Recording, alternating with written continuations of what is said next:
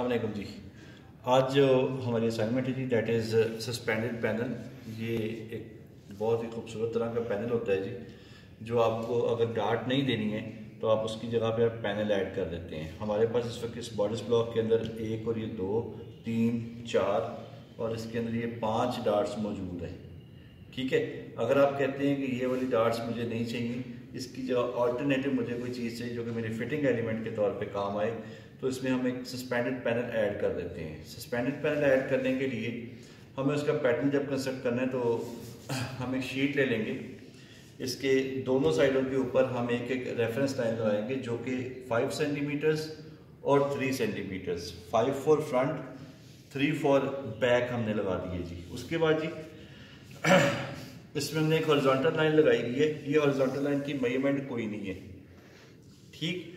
ये horizontal line मैंने अंदाजे से लगाई है, अपना बॉर्डर्स ब्लॉक प्लेस किया है, जिससे मुझे अंदाज़ा आ जाएगा कि मेरा ऊपर और नीचे तकरीबन जगह थोड़ी थोड़ी बैलेंस होनी शुरू हो जाए। ठीक है? मैंने इसके ये पॉइंट्स लेकर मैंने इस लाइन को एक्सटेंड कर दिया, जो कि फ्रंट और बैक के लिए अभी इक्वल रहेगी हमारी लाइन ठीक है जी? हम क्या करेंगे? हम अपना कंस्ट्रक्शन प्रोसेस इस तरह स्टार्ट करेंगे कि ये सेंटर फ्रंट को इस लाइन के साथ बिल्कुल सीधा कर देंगे। उसके बाद बस लाइन को बस लाइन के साथ अब सीधा कर दिया, जो हमने ये हॉरिजॉन्टल लाइन लगाई थी।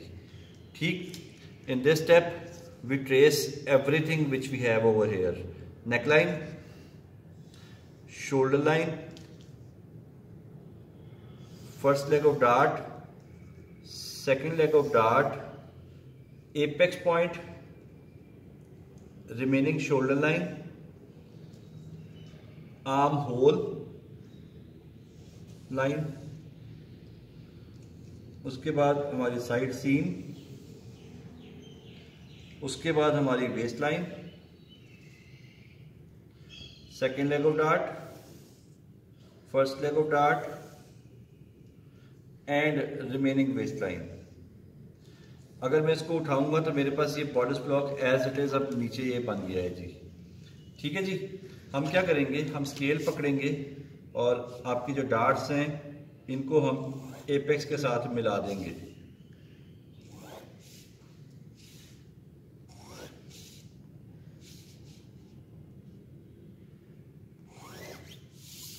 ओके जी, यहाँ तक हमारा ये चीज़ है जो हमने ये बनाया था।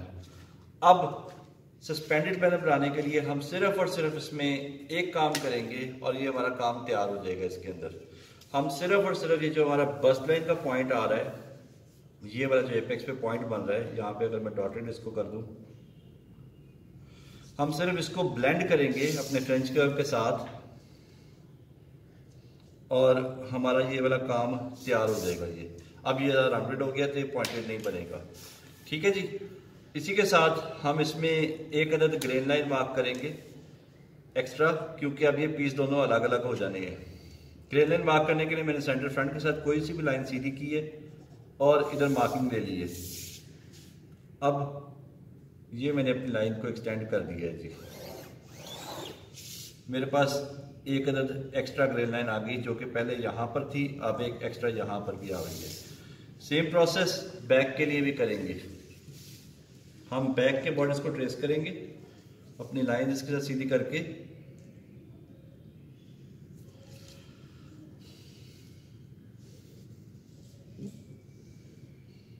first leg second leg shoulder line armhole line side seam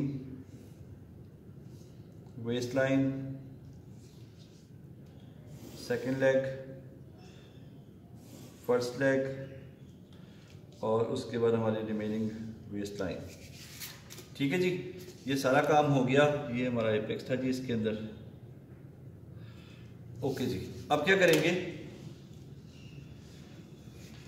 इसमें थोड़ा सा काम चेंज होगा कि इसमें हम, ये जो सेकंड लेग ऑफ़ डार्ट थी और ये जो सेकंड लेग ऑफ़ डार्ट है, हम इन दोनों को आपस में ब्लेंड कर देंगे तो हमारे पास स्पैंडल पैनल बन जाएगा। ठीक है? इसकी आसानी के लिए अगर आप करना चाहें तो आप इस डार्ट लाइन को एक्सटेंड कर सकते हैं जी अपने पास। ये वो डार्ट लाइन है जो आपके इस बॉडीज के ऊपर भी ये लगी हुई है। ठीक है? आप क्या करेंगे? अपने फ्रेंच के ऊपर ऐसे इसमें प्लेस करेंगे और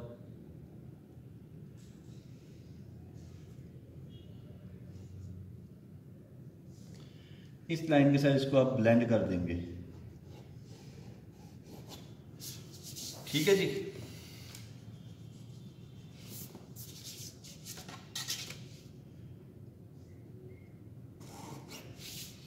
ये हमारा जी। यहाँ से थोड़ा सा गलत आ रहा है इसको हम अभी ठीक कर लेते हैं।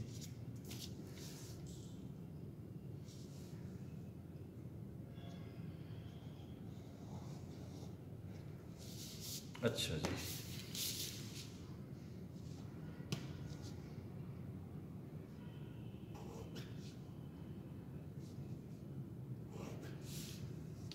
चले जी ये हमारा जी। बन गया। अब इसमें हमारे पास ये कटिंग बन जाएगी, एक ये कटिंग बन जाएगी, एक कटिंग ये बन जाएगी, एक कटिंग ये बन जाएगी। तो हमारे पास इसमें अब चार पीस हमारे पास बन जाएँगे जी। ये हमारे पास एक नई ग्रेन लाइन आ जाएगी। सर, सवाल यहाँ पे ये पैदा होगा कि हम ये वाली ग्रेन लाइन और ये वाली ग्रेन लाइन हम क्यों लगा रहे हैं? ठीक है? तो इसमें सर सीन ये है कि आपका एक पीस ये बन जाएगा, एक पीस ये बन जाएगा एक पीस ये बन जाएगा और एक पीस ये बन जाएगा, क्योंकि चारों पीस अलग हो जाएँगे।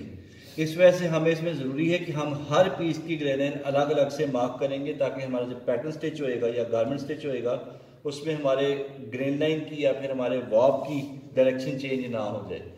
ठीक? तो ये एक वजह है जी, इसमें इन पीसेस को अलग अलग करने की। ठीक है जी? उसके बाद जी, जैसे कि आप पहले करते आ रहे हैं इन्फॉर्मेशन बॉक्सेस का। तो इसमें अब आपके चार इन्फॉर्मेशन बॉक्सेस बनेंगे जी। मैं इधर ये रफली बना रहा हूँ तो आप इसको ये प्लीज़ नीटली बनाइएगा। जैसे आप पहले करते रहें टू नीचे, और ये बॉक्स अभी हम डिसाइड कर लेते हैं ये कितने का बनेगा। ठीक है जी?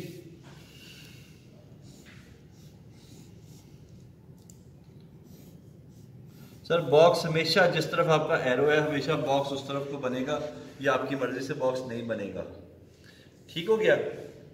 अब करेंगे ये कि इसके अंदर जो आप डाटा आएगा, वो सारे का सारा कॉमन आएगा, सिर्फ़ एक दो चीज़ें जो कि सब पेरेंट्स की फ़र्क आएँगी।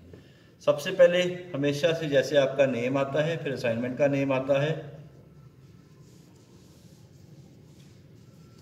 फिर उसके बाद जी आपका पीस नेम आएगा। सर, ये आपका फ्रंट है, ये आपका साइड फ्रंट है।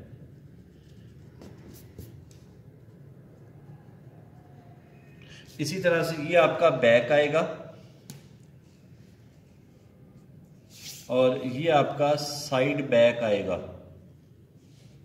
मतलब यहाँ पर हमारे पास पीस नेम आना है, जो कि ये चारों का अलग अलग आएगा जी। उसके बाद simple size 42 and your class, nothing more. एक, दो, तीन, चार, पाँच लाइन होगा। मतलब ये फाइव बाई ये टू नीचे आएँगे और फाइव टू इधर से आएँगे तो ये फाइव का बॉक्स आपका बन जाएगा। फाइव बाई फाइव का। ठीक है? ये करेंगे। ये सारा कुछ फेल्टिप के साथ। फेल्टिप फेल्टिप सिर्फ़ ये ग्रीन लाइन्स के एरो आपके जो हैं, वो मार्क होंगे उसके साथ रेड बॉल पॉइंट के साथ। बाकी जितना भी है, आपका सारा ब्लैक फेल्टिप चलेगा जी।